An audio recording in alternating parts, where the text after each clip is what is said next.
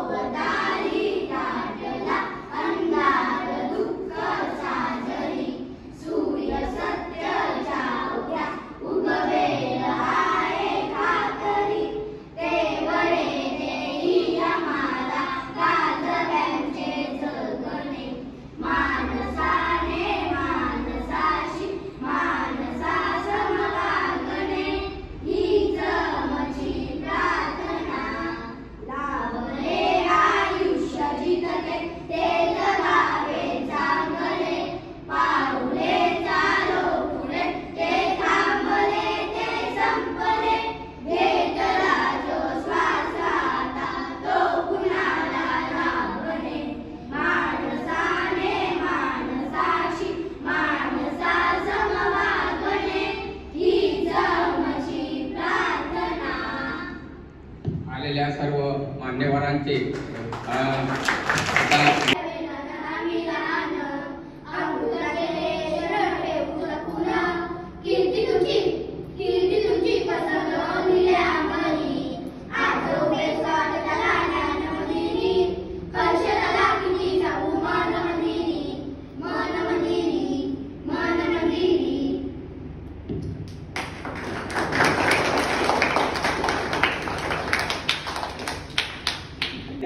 परंतु आलेल्या सन्मान्य अतिथींचं स्वागत करणे आमचं आद्य कर्तव्य आहे.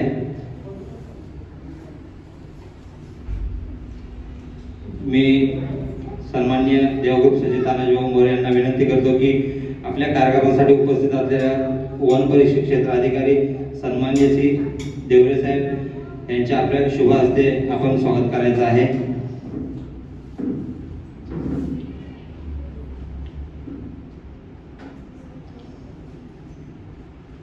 सन्माननीय तानाजीभाऊ मोरे आपल्या शुभ हस्ते सन्मान्य देवरे साहेब यांचे सत्कार करत आहेत. साहेबांनी आमच्या छोट्या सत्काराचा स्वीकार करावा.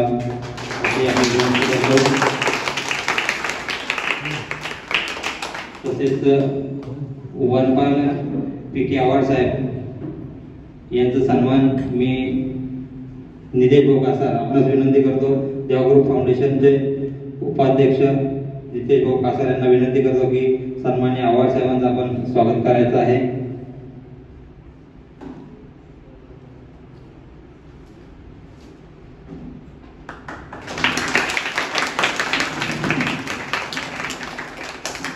तसेच बी व्ही माली साहेब मी हेमंत भाऊ यांना विनंती करतो की माने साहेबांचा सत्कार करायचा आहे.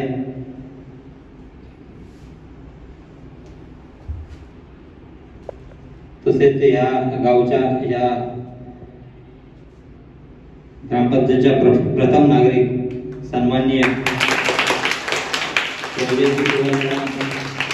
सरपंच गुरुगंपन सोनाले मी मनीषाताई मोरे यांना विनंती करतो की आपण सन्माननीय सरपंच वैजंती यांचा सत्कार करायचा आहे.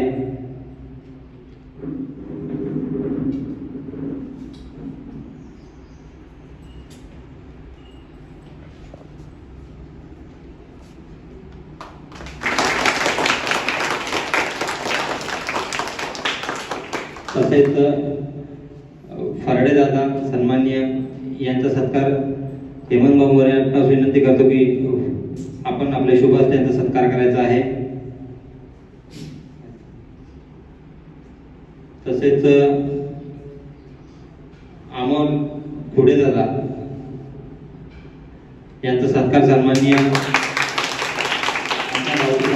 मनीष भाऊ विनंती करतो की आपण पुढे साहेबांचा सत्कार करायचा आहे.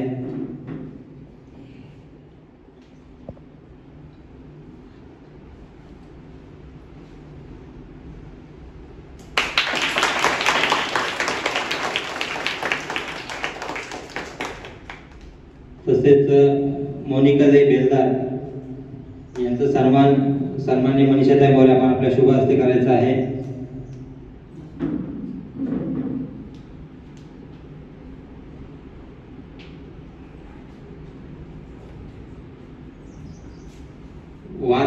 अध्यक्ष सन्मान्य यांच्या मार्गदर्शनाखाली त्यांची संपूर्ण टीम इथे उपस्थित आहे व ते आपल्याला आपल्या विद्यार्थ्यांना वन्यजीवांचे सर्व माहिती देण्यात आहेत असे योगलेश कांबळे सर. सन्मान्य मनीष बोकोर आपणास विनंती करतो आपल्या शुभ हस्ते योगेश कांबळे सरांचं आपण या आपल्या वालचंद नगरीमध्ये सरसे सत्कार करायचा आहे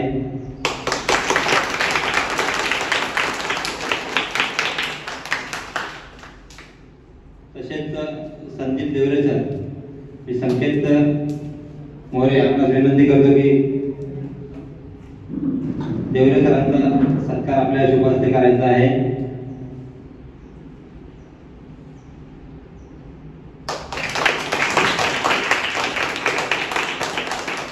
आमच्या विभागाचे कोहली दादा यांचा सुद्धा सन्मान मी या शाळेचे सन्मान्य मुख्याध्यापक आपण पाठवलं का? ठीक आहे.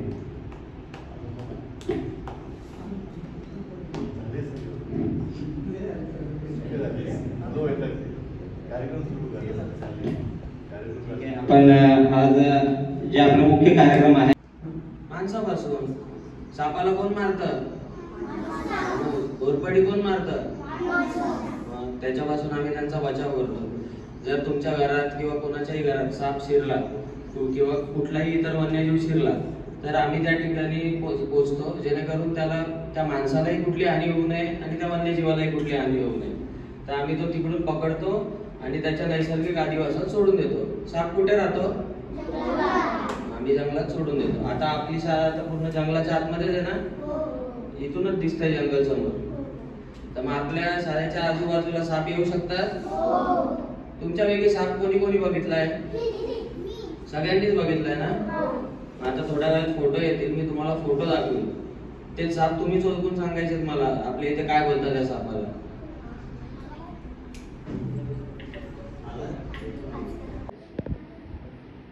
बिबट्या एवढाच असतो.